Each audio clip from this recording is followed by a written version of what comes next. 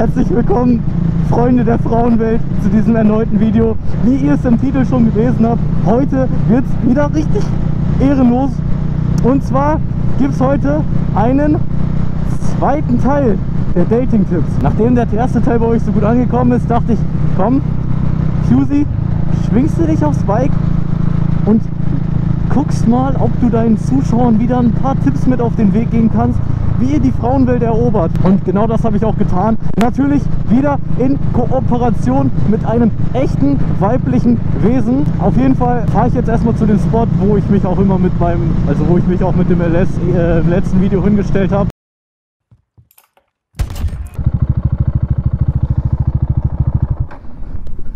So, Freunde.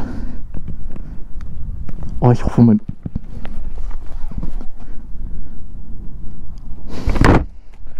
weiß nicht, ob ich dem Ganzen trauen kann. Freunde, die Dating-Tipps beginnen. Lasst die Spiele beginnen. Also Leute, letztes Mal ging es ja ein bisschen um Dominanz zeigen. Und das Ding ist, Dominanz ist ja schön und gut. Darum geht es heute zwar auch in einem Punkt wieder, aber man muss ja auch manchmal einfach ein paar Kompromisse eingehen und dann müsst ihr auch die emotionale Seite des Mannes raushängen lassen. Das ist ganz wichtig und deswegen ist der erste Tipp, fangt, wenn ihr Gespräche führt, manchmal einfach random an zu heulen. Weil das zeigt nämlich, dass ihr kein emotionsloses Arschloch seid. Das ist nämlich auch wichtig, um der Frau einfach zu signalisieren, ey, wenn es drauf ankommt, ich kann dir auch Gefühle zeigen, so weißt du. So, das wird auf jeden Fall einen sehr großen Effekt bei ihr auslösen und ähm, im besten Fall habt ihr sie nach dem ersten Tipp schon direkt um den Finger gewickelt.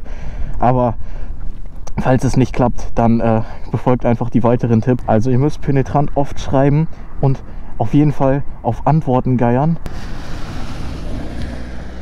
Aus dem ganz einfachen Grund, ihr müsst ihr zeigen, dass ihr Interesse für sie habt. Und zwar, wenn ihr euch nicht trefft, müsst ihr das nämlich durch, äh, durch Schreiben signalisieren. Und genau das ist die Vorgehensweise bei diesem Tipp. Also schreibt oft und geiert auf Antworten. Ganz leicht. Dann müsst ihr Snaps schicken, wie zum Beispiel, also macht einfach einen Snap von eurem Gesicht, ganz normal. Oder halt in meinem Fall mit Motorradhelm. Und schreibt dann einen Text hin, wie zum Beispiel, ey, ich habe gesehen, du hast in deinem Schrank keine Cornflakes mehr.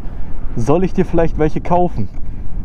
Und das geht dann auch noch mit dem nächsten Tipp einher. Schreibt immer, aber nur wenn du willst. Haha. Das zeigt dem Mädchen, dass ihr ihr auch Freiheit lasst. Sie muss ja sehen, wenn sie mit euch zusammen ist, dann hat sie auch Freiheiten. Sie wird nicht eingesperrt und so. Ihr gebt ihr die Zeit, die sie braucht. Ihr gebt ihr alles, was sie möchte. Ne? Das ist sehr wichtig. Da stehen die Frauen auf jeden Fall drauf. Ihr solltet auf jeden Fall bei allem, was ihr macht, unsicher sein. Ist wieder das gleiche Thema wie mit dem Punkt heulen. Das zeigt einfach, dass ihr es auch wirklich ernst meint mit der Frau. Er hat einfach MILF-Kennzeichen. Digga, das könnte. ne, egal. Also Leute, ihr, ihr müsst halt einfach zeigen, dass ihr wirklich Interesse an ihr habt, dass ihr euch Mühe gibt mit der Frau und dass sie eigentlich auch die einzige auf dieser Welt ist, für die ihr Augen habt. Wie gesagt, eben schon angesprochen, nach jedem Satz, wenn du willst, haha, schreiben und immer, ihr bietet immer eure Hilfe an. Es gibt nichts, nichts, was die Frauen mehr um den Finger wickelt als Hilfsbereitschaft. Ich sag's euch. Was auch extrem wichtig ist, flext. Flext in jeder Situation mit irgendeiner unnötigen Scheiße rum. Das zeigt nämlich einfach, dass ihr ein Alpha seid. Kommen wir wieder zum Tipp Dominanz.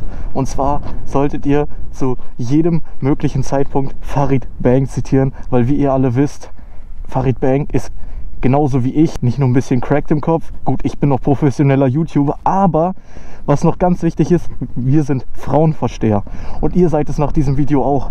Und deshalb zitiert ihr Farid Bang. Das zeigt nämlich zusätzlich nochmal Dominanz, da er eine sehr dominante Ausstrahlung hat, die ihr dadurch übernehmen könnt. Ihr dürft aber nicht zu dominant sein, weil wenn ihr zu dominant seid, dann denkt sie, ihr seid ein Arschloch, das äh, voll verklemmt ist oder was weiß ich. Deswegen bombardiert sie mit Komplimenten.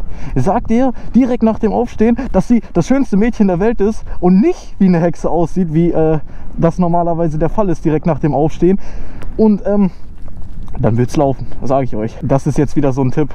Das ist schon, wenn man auf einem Date ist. Ihr wisst ja, ich habe damals den linken Haken gebracht. Also nicht gebracht, aber euch mit auf den Weg gegeben. Und ich habe mir jetzt gedacht, Digga, du, du, fährst, du fährst jetzt einen Rechtslenker da kannst du keinen linken Haken mehr geben. Weil, äh, wenn ich, das ist halt nicht möglich, ne? Deswegen ist jetzt der Tipp, es ist die linke Gerade. Ja, ihr müsst euch vorstellen, man fährt und dann, sie sagt euch, ihr seid zu nett. Dann macht ihr einfach den. Gleiches Thema wie damals. Sie kann gar nicht mehr drüber nachdenken, warum ihr zu nett seid. Und dann habt ihr die Frau, weil sie dann weiß, ey, ihr könnt euch auch durchsetzen. Und das zeigt einfach nur, wie stark ihr eigentlich wirklich seid. Der nächste Tipp ist, bezeichnet euch selbst als Frauenversteher. Den lasse ich jetzt auch einfach so stehen, da sage ich jetzt nicht mehr zu. Auf ganz ernst, wenn ihr auf dem ersten Date seid, ihr kommt hin, ihr wart, gerade essen und dann geht ihr spazieren oder irgendwie so. Also ich gehe mal davon aus, dass ihr spazieren geht oder so. Ne? Und in diesem Moment, wenn es irgendwie ein schöner Sonnenuntergang oder ähnliches ist, dreht ihr euch zu ihr hin, guckt ihr penetrant lange in die Augen, bis es ihr unangenehm ist. Und sagt dann auf Ernst, ich liebe dich. Und ich will ein Kind von dir. Das zeigt auf jeden Fall schon mal, dass ihr ein Familienmensch seid und auch sehr entscheidungskräftig seid. Denn ihr habt es schließlich auf dem ersten Date geschafft, euch auf eine Frau festzulegen. Und das ist genau das, worauf alle stehen. Das wollen sie nur alle nicht zugeben, sage ich euch. Also ihr seid auf einem Date, vielleicht habt, trefft ihr euch bei euch, äh, so bei dir oder bei ihr. Es läuft gut und dann guckt sie einfach an, guckt ihr ins Gesicht und fragt, ey, hast du eigentlich Bock zu smashen? Wenn sie dann ja sagt, dann bewegt ihr euch in euer Wohnzimmer in euer Schlafzimmer, wo auch immer ihr sie stehen habt und holt die Switch raus und spielt eine Runde Smash.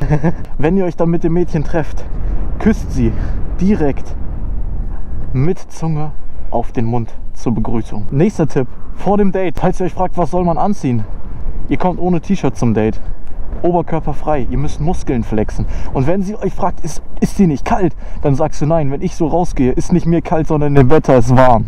Es ist ja essentiell wichtig zu wissen, worauf man sich überhaupt einlässt. Und ähm, deswegen ist der nächste Tipp, wenn ihr euch nicht sicher seid, kann das Mädchen mir überhaupt was bieten? So, ich bin breiter als der Türsteher mit einem 44er Bizeps und ihr wisst nicht, so passt das, ist das meinen Ansprüchen gerecht? Denn das ist auch wichtig. Kennt euren eigenen Wert. Das ist, das ist so essentiell und das ist jetzt nicht mal gelogen, Leute. Kennt euren eigenen. Ja, okay. Fangt an zu twerken. Sie wird euch komisch angucken, aber dann dreht ihr euch zu ihr und sagt, ey, Kannst du das auch? Wenn ja, mach mal. Weil ihr müsst ja wissen, wenn ihr sie dann anfängt, dann seht ihr ja, worauf ihr euch am Ende einlassen werdet. Äh, letzter Punkt, Crocs stay on during. Und Leute, ganz wichtig, es gibt ja immer Momente, da schlägt es einem Leben zurück. Da weiß man nicht weiter. Da fragt man sich, warum hat sie, obwohl ich alle Tipps befolgt habe, jetzt aus dem Nichts einen Freund bekommen. Wenn sie einen Freund bekommt, fragt sie, ey, wie viel wiegt denn eigentlich dein Freund? Und sie wird euch dann das Gewicht sagen. Schickt ihr dann ein Video, wie ihr das Gewicht auf der Bank am Drücken seid. Zeigt nämlich einfach, dass ihr Alpha seid. Das flext sie weg und das ist so ein kleiner Disrespect am Rande. Und Freunde, jetzt ist es soweit.